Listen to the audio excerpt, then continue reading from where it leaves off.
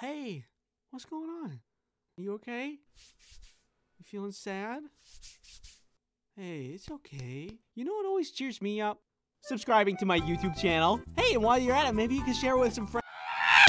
Hey, what's going on? Uh, in the last video, I showed a game that I was playing recently, and a lot of people was wondering what it was, and I didn't show the title of the game. That's my bad. The game is called Potion Craft. I'm not sponsored by them. I just legitimately like the game. I am launching an NFT. I am just kidding. Could you imagine, though? All right. Hopefully that's softened the blow enough. Raid Shadow Legends is a mobile game I'm sure you're hearing about for the first time just now. Let's go check it out. It'll make all of your dreams come true. Come on, you're gonna love it. I said come on. Raid Shadow Legends is a game about building a team of champions, putting them in an epic battle, and laying waste to endless dangerous enemies. Sounds like my Friday night if you know what I'm talking about the hell are you doing on Friday night? This Halloween season, Raid has a bunch of spicy new champions to play. I'm loving these new Halloween themed champions, like Harvest Jack, who looks like he could kill me easily, Brakus Shifter, who looks like he could kill me easily, and Masked Fearmonger, who looks misunderstood. I like that Raid Shadow Legends doesn't only have one game mode, but also a PvP mode. Get all your cool guys together and go head to head with another group of cool guys. Only the coolest of guys will be left standing. So you probably don't have much of a chance actually. This month there's a jam-packed set of Halloween events and activities for you to enjoy. Tons of rewards and tournaments and special fragment events to get some of those aforementioned Halloween champions. If you want to get a huge head start in Raid, all you have to do is hit the link in the description or scan my QR code and you'll get an epic hero Chonoru, 200k silver, 1 XP boost, 1 energy refill, and 1 ancient shard so you can summon an awesome champion as soon as you get in game. Good luck and I will see you in in the battlefield. Okay, Minecraft, the game that everybody really has. My god, do you know how big Minecraft is? Bigger than Tetris. That is insane. This game is actually historic. The year is 2009, and Notch is feeling some inspiration from the block mining game no one has ever heard of and Fun Eyesore. He put two and two together, and that was the beginning of the end. I mean, of Minecraft. He started making Minecraft using his programming knowledge in Java, making the grass, the trees, the pit. Is that that's supposed to be a pig? Why does the pig look like that? Okay, there's the pig. That looks much more accurate. I guess you get to stay also. At this point, the game was a fraction of what it would eventually be, and this was around the time I found it. I was surfing the World Wide Web when I came across some web forum that was talking about water elevators and how to construct them. Interesting, I think, as I delved deeper. Turns out it was free weekend, and I could download the game and try it out. And the rest is history! Now, hundreds of millions of people play the game, and now it's officially the biggest game of all time. Kinda cool. Ever since that point, I have loved Minecraft. Minecraft. I remember being really into it, to the point of making a high school presentation about how Minecraft and video games in general are good for you. Yes, I know. I was very cringe. Too bad I never grew out of it. The presentation was supposed to be about how video games improve reaction times, which I don't think that's even true. In reality, I was just coping with my addiction to video games. I've since turned my life around. I no longer play League of Legends. Minecraft has since gotten an education edition, but before that happened, claiming that video games are good for your mental health was a weird take. Video games as an education is a really new concept, and people in the education world would laugh at you and say video games cause violence, you little ding dong. What are you talking about? But not anymore. Now, kids get to play Minecraft uh, for education, and that's great. I'm not bitter at all. All I gotta do to learn was timetables. And I was really bad at those. I don't know how many hours I've played in Minecraft, but I know that it's a lot. And a lot of what I did was make a little house and then waiting for it to rain and then listening to the rain, but inside. Oh, here it comes, here it comes.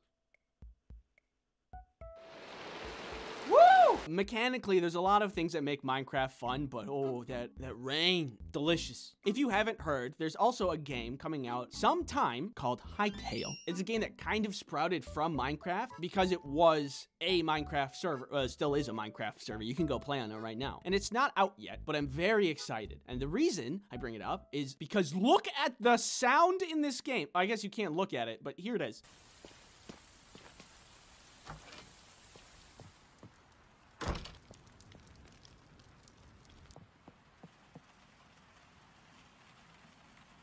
It's so good. Oh my god. I could live in this game. Just saying, Hytale, if you need a beta tester, I think there was one really crucial thing that made Minecraft as popular it is today. YouTube has changed their algorithm a bunch of times. At one point, YouTube changed the algorithm to favor watch time, which means if somebody watched 10 minutes, that video has 10 minutes of watch time. If two people watch 10 minutes of video, that's 20 minutes of watch time. Turns out, little bit of a loophole, you can play one hour of Minecraft, cut it up into six 10 minute videos, and post unbelievably large amounts of content. Way more than like a makeup YouTuber or skit YouTuber who has to like plan and skit and set up the camera. Minecraft YouTubers went crazy. Minecraft videos were everywhere. Minecraft in suggested, Minecraft in trending, Minecraft in my bed.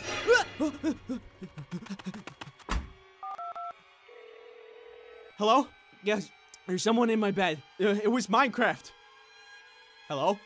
Hello? Hello? YouTube was able to reach billions of people. If Minecraft didn't have an entire social media platforming it, that would have costed a lot. And for an indie developer, that would have been really impossible. In advertisements, I mean. None of this is to say that Minecraft didn't pop off because it wasn't a fun game. The game was really fun. Now it's important for it to be as popular as it is. I'm just saying, YouTube really blew it up. And it, like, in a way, was kind of a golden age. I remember playing Minecraft while watching Minecraft, specifically Yogscast and their Jaffa Cakes Factory series. that was the good stuff. I also just want to mention congratulations to the Allay.